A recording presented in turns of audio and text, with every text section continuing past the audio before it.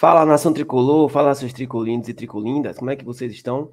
Bom, o Bahia venceu ontem o Bahia de Feira, um jogo bem difícil, um jogo foi mais difícil até do que a gente imaginava, teve muito, muitas emoções além do que a gente esperava para o jogo, tá? É, só que os jogadores do Bahia de Feira ainda reclamaram após a partida, eu vou trazer aqui a entrevista para vocês. Teve um lance polêmico na parte no jogo que decidiu a partida a favor do Bahia, o pênalti. Jogadores do Bahia de Feira, vocês vão ver a entrevista, eles reclamaram, dizendo que talvez não tenha sido pênalti.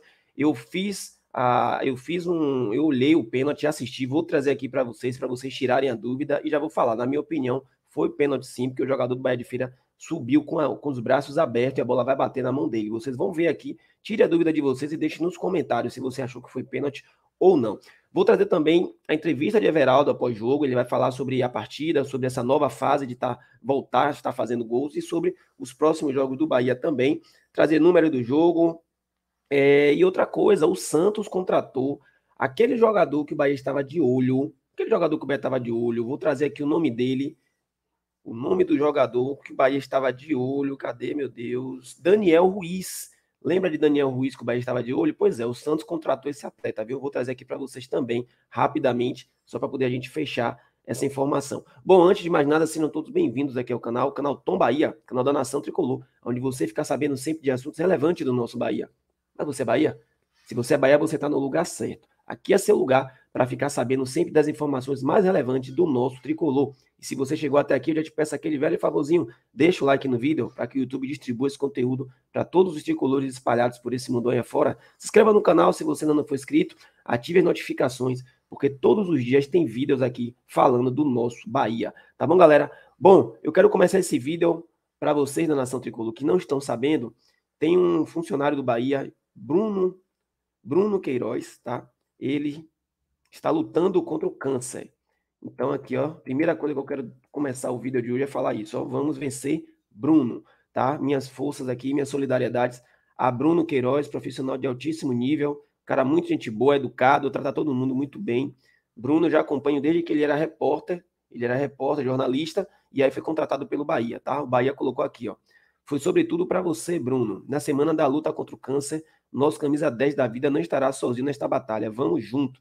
Bruno está lutando contra o câncer, tá bom? Então, minha solidariedade a Bruno Queiroz, que não se preocupe, Bruno, porque tudo vai dar certo. Já deu certo, porque a gente está aqui para apoiar você, para dar força. Estamos todos juntos nessa, ainda mais eu que trabalho no hospital, sei bem o que é isso. Bom, galera, outra coisa agora que eu vou trazer para vocês. Vamos seguir aqui com as informações. O Bahia jogou ontem, mas já reapresentou hoje. Tá aqui, ó. Jogadores do Bahia já aí. Goleiro Jacaré já tá lá, também na bicicleta, tá?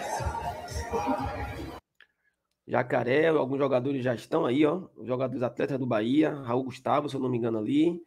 Eu acho que ali é Daniel. Tá aí, viu? Com o professor Renato Paiva não tem negócio de, de moleza, não. É trabalho. Aqui é trabalho com o nosso teacher Renato Paiva. Então, os jogadores já se apresentaram e já estão lá fazendo regenerativo, treino, seja lá o que for. Agora, bora falar da partida de ontem. Primeira coisa que eu quero falar do jogo de ontem. O Bahia fez um primeiro tempo muito ruim, muito ruim, muito abaixo do esperado. O Bahia tomou um gol em um lance que foi em, o, jogador do, do Bahia de Feira estava em impedimento, tá? O jogador estava em impedimento, não precisa nem colocar replay, porque o lance foi muito claro, foi na cara do Bandeirinha e o Bandeirinha não marcou. O jogador que sofreu o pênalti na hora que o atleta do Bahia de Feira deu a bicicleta, ele já estava em impedimento muito à frente. O Bandeirinha não deu, não sei por quê, porque o lance foi bem na frente dele, foi do lado que o Bandeirinha fica. Não sei por que, que ele não deu esse impedimento, muito claro. Mas, fato é que, independente disso aí, o Bahia fez um primeiro tempo muito ruim, perdeu o primeiro tempo, não se achou em campo, não conseguia trabalhar a jogada, não era aquele Bahia que a gente está acostumado. Foi talvez tenha sido o pior primeiro tempo do Bahia na era Paiva.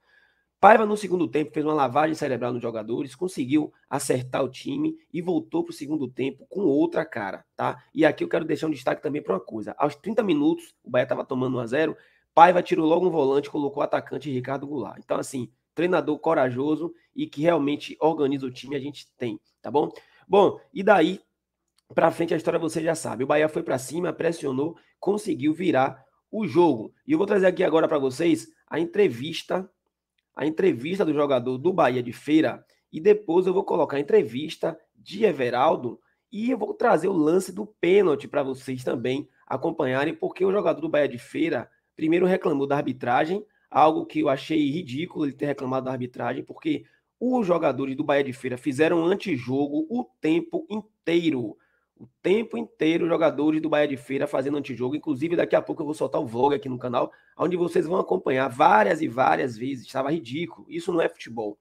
Você jogar na defesa, você jogar atrás da linha, ok. Jogar todo lá atrás é válido, mas fazer aquele antijogo que os jogadores do Bahia de Feira fizeram realmente foi lamentável. Vamos ouvir, vamos ouvir aqui o que eles, o jogador do Bahia de Feira falou após a partida. A beira do gramado traz alguns dos destaques desse jogo. Pois é, Walter, estou aqui com o Thiago Correia mais uma vez. Ele vai falar para a gente o que, aconteceu. O Bahia conseguiu um empate, depois vocês sofreram é, com a virada, né, com um pênalti marcado também contra vocês. O que foi que faltou para esse equilíbrio mental da equipe conseguir segurar o Bahia nesse segundo tempo? Eu acho que a gente deu uma recuada e não foi tão eficaz nos contra-ataques, tentar manter um pouco mais a bola para dar uma respirada. Mas é, eu sou o cara que eu não falo muito de, de arbitragem, procuro falar taticamente, tecnicamente, que é isso que todo mundo quer ver futebol. Mas eu acho que já tem três jogos, cara, que a gente está sendo um pouquinho prejudicado, sabe? Duas expulsões que no jogo passado eu fui perguntar pro juiz por que, que ele expulsou nosso jogador, ele falou porque tinha dado um tapa na mão do jogador. Isso na área é normal, entendeu? Mas assim, Bahia tem mérito também, tava segundo tempo foi para cima, é, praticamente mandou no jogo. É lógico que a gente teve algumas bolas que a gente podia encaixar ali um gol ainda, mas se fosse para o Bahia fazer o gol, tu fazia o gol normal, não tinha necessidade de dar um pênalti desse. Também não, não, não vi na TV se foi claro, mas ali de perto não pareceu que bateu na mão. Ele falou que viu muito claro e marcou. Mas vamos falar de futebol que é melhor. Muito obrigada, Thiago. Tá aí, agora galera. A gente vai falar agora com o Everaldo. Tá aí a entrevista do jogador do Bahia de Feira. E agora, para tirar dúvida de vocês, eu vou colocar aqui na tela o lance do pênalti. E vocês vão, vão acompanhar comigo que foi pênalti sim, tá? Eu não estou sendo clubista simplesmente foi pênalti. Vou colocar aqui para você na tela. Acompanha aqui o lance, ó. Tá aí.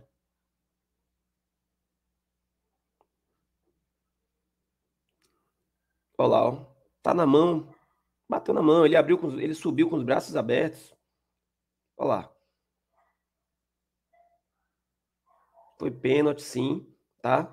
Dessa vez o juiz acertou. Errou no lance do impedimento, no lance do gol do Bahia de Feira. Se o juiz errou, o juiz, se o juiz errou, não. O lance que o juiz errou, na verdade, foi o lance contra o Bahia, porque o jogador que sofreu o pênalti, ele estava em completo impedimento. Esse lance não, esse lance aí está muito claro. O juiz acertou sim, foi pênalti, tá aí o lance, bateu, ainda fiz questão de colocar, de pausar bem na hora que bate aí, ó. Bem na hora que bate na mão, para poder não ter dúvidas, tá bom? Bom, galera, agora eu vou trazer para vocês números do jogo, tá? Números do jogo, para mostrar que o Bahia realmente foi bem superior na partida não teve, a, principalmente no segundo tempo, tá? O primeiro tempo do Bahia foi muito ruim, mas o segundo tempo o Bahia foi bem superior. Vou trazer aqui os números rapidamente para vocês. Tá aqui, ó, 19 finalizações do Bahia, 9 no gols, contra 3 é, do, da equipe da, do Bahia de Feira. Ataques perigosos, posse de bolas, escanteios. Foi uma superioridade absurda, principalmente no segundo tempo, que o Bahia voltou com a outra postura, tá? O Bahia voltou com outra postura, foi para cima e realmente mostrou a sua qualidade, a sua superioridade técnica no jogo e mereceu, no final das contas, pelo segundo tempo, sim, vencer a partida, tá bom? Bom, tá aí já o número da partida. E agora, para a gente finalizar o vídeo, eu vou trazer aqui para vocês. Aliás, não, finalizar não, ainda tem mais coisa para falar no vídeo. Eu vou trazer aqui a entrevista de Everaldo, uma parte da entrevista de Everaldo apenas, e depois eu vou trazer a. Depois eu vou trazer a parte de, do jogador do Bahia que foi contratado pelo, pelo Santos, tá bom? Deixa eu colocar aqui na tela para vocês. Deixa eu preparar a entrevista de Everaldo. Colocar aqui na tela aí, agora sim. Fala aí, Everaldo. O que, é que você achou do jogo? Boa noite mais uma vez. Parabéns pelo triunfo, pelos seus dois gols. Agora três gols em dois jogos. Como é que é essa virada de, de chave para você? Como é que vem sendo essa sua preparação e agora intensificação com um foco maior no Fortaleza, já que o Dulcineu, o Bahia deve utilizar uma equipe mesclada, uma equipe de mais jovens. Como é que fica agora esse foco para a próxima competição do Bahia, que é a Copa do Nordeste nesse momento? Pois é, foi um, um jogo difícil hoje. Uh, como era de se esperar, né? As equipes que vêm jogar contra a gente aqui na Fonte Nova, uh, as equipes jogam com bloco baixo. Hoje Uh, tem uma ressalva assim que, pô, eu acho que não só aqui no Campeonato Baiano, mas no, no Brasil, nós temos que virar a chave e pensar em parar com essa coisa de querer parar o jogo o tempo inteiro. Pô, para quem tá, tá pagando o ingresso ali, vendo o jogo, o espetáculo, independente seja o jogo em casa fora de casa, pô, quer ver o jogo, a bola rolando, o jogo não da forma como foi hoje, é, todo tempo caindo, todo tempo matando tempo e, e né, feliz, mas enfim, vamos virar a chave, é, pensar agora no, no, no Fortaleza, conseguimos a classificação que a gente queria, Vamos ver o que vai acontecer, o que, que o professor vai, vai pensar para o jogo de final de semana, mas uh, fico feliz pela, pela, pelo triunfo, pelos dois gols. Mas é como eu digo, os gols ali são é um detalhe, tem todo um contexto, todo mundo ajudou para que isso acontecesse. Você fala que um gol é, é detalhe, Everaldo, mas quanto estava te incomodando antes? Tá aí, galera, a entrevista de Everaldo? Tá aí, Everaldo falou muito bem. Os jogadores do Bahia de Feira realmente fizeram antijogo. Foi ridículo. Foi muito feio. Vergonhoso o que os, Bahia, os jogadores do Bahia de Feira fizeram ontem. Aquilo ali não é futebol. Ridículo mesmo. Lamentável. Eu classifico como aquela atitude dos jogadores do Bahia de Feira. E agora, para finalizar o vídeo, rapidamente, eu vou só colocar para vocês aqui, ó. Olha o jogador que o Santos contratou.